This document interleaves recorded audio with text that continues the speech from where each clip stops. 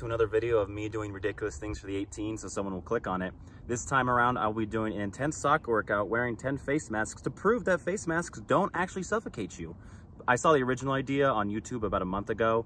He wore 10 masks and ran a kilometer in 100 degree heat, and he also smoked before. I won't be smoking, but there are wildfires here, so that'll be good secondhand smoke. So yeah, I'm gonna be wearing 10 masks I looked up some soccer workout videos on YouTube and uh, we'll put them to the test, see if I can breathe. Let's do this.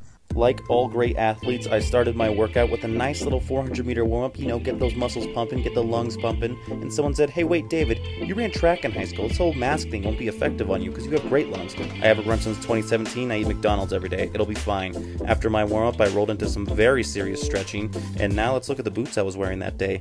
So the boot choice we got for today, these are the brand new Adidas Predator Mutator 20 Plus Ruben Dengar specials. Got them for like $300 an absolute steal. We're using these for today. The shooting drill that I meticulously set up involves me whipping out my nastiest 5-star skill move on this defender and then railing a shot at that goal. I didn't actually have any defenders on hand, but this McDonald's Shamrock Shake poster is more stubborn than a Karen at Walmart when she's told to wear a mask.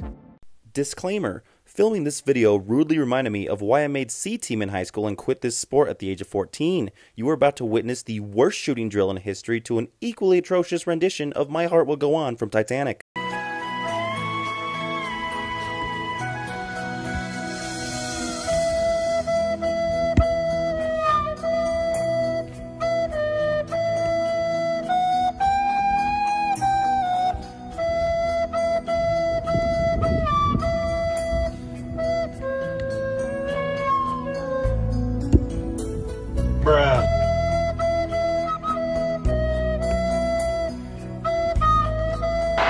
Balotelli, Aguero!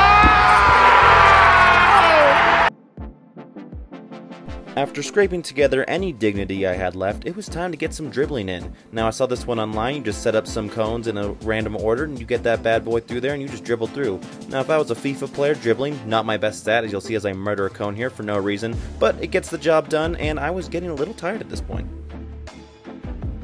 Now you'll notice on drill 3 there's an asterisk, and that is because you are not going to see much agility on display here. What I will say though, there's a lot more activity going on here with 10 masks on than you would do at the store with one. So if I can do it with 10 here, you can wear one at the store.